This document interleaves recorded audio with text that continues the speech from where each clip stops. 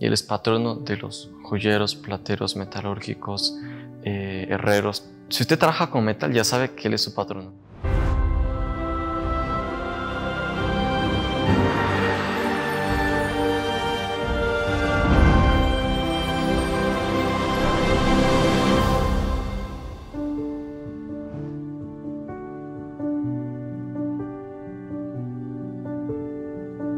Salve María, queridos amigos de Heraldos del Evangelio, bienvenidos a este nuevo capítulo de Caminando con los Santos. Hoy vamos a hablar sobre San Eloy o San Eligio, es el mismo, ¿sí? Para que conozcan. Eh, sus dos nombres se refieren a la misma persona. Él nació en Francia en el siglo VII y él es patrono de los joyeros, plateros, metalúrgicos, eh, herreros. Si usted trabaja con metal, ya sabe que él es su patrono, ¿sí? Él desde muy joven eh, ya se, se, notaba la predilección divina por, por él porque un hombre piadoso y recto y, muy inteligente. Tanto así que consiguió eh, aprovechar muchísimo, llevar, elevar mucho el arte del, trabajo con metal. Aprendió eso de su padre y lo hizo tan bien al punto que tres reyes, Clotario II, Dagoberto y Clovis II, lo, lo, trajeron a la corte para que hiciera todas sus joyas, sus trabajos de metal y tal. Incluso él llegó a hacer varios relicarios importantes para reliquias de santos que hasta hoy se conservan. Y eh, al rey le, impresionó la honradez. Dígase, digamos honradez, pero la santidad no, porque decir que un hombre simplemente es honrado no es una virtud, es un acto cívico. Eh, tiene que ser santo, ¿no? Entonces, viendo esa santidad, eh, le dio cargos muy importantes. Imagínense un día el rey Clotario le pidió que jurara fidelidad al rey.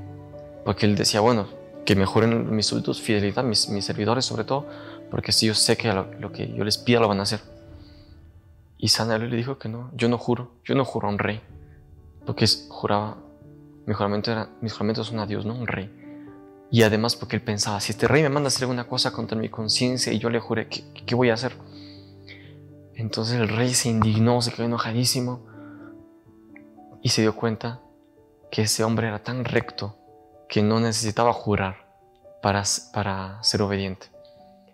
Y así, él, hubo un momento en que el rey estaba con problemas con el duque de Bretaña, entonces mandó a San Eligio a que estableciera relaciones diplomáticas, ayudar a, tranquilizar la situación y se, se salvó por, por, causa de San Eligio de una guerra entre los dos. Y así, eh, él fue acercándose más y más eh, digamos, más a Dios, más de lo que era antes, y decidió fundar un convento, un monasterio. El rey le regaló un terreno y él fundó una rama masculina y después una femenina. Y a, sus religiosos les enseñaba el arte eh, del metal, del trabajo con el metal, y varios religiosos consiguieron hacer obras de arte estupendas. Y varios religiosos consiguieron hacer obras de arte estupendas. Y así fue creciendo su fama de santidad, ¿no? Porque, como dije, era santo, no era un hombre honrado, era santo. Eh, cuando murió el, obispo local, todo el mundo decía, no, él tiene que ser el obispo, él tiene que ser el obispo, es un santo, es un santo. Y él no quería, no quería y no quería. Pero se dio cuenta que realmente era la voluntad de Dios y aceptó.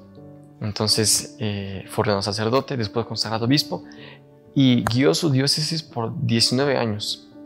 Y se conoce que él tenía una disciplina muy fuerte, muy exigente y se dedicó mucho a, predicar la conversión, porque ese pueblo era medio así, claro que era cristiano, pero tenía todavía muchos rasgos eh, paganos, porque uno lee, eh, encontramos hoy en día 15 sermones de él que hablan mucho de la idolatría, de la impureza, eh, de la, esas lecturas de naipes, de manos, etc.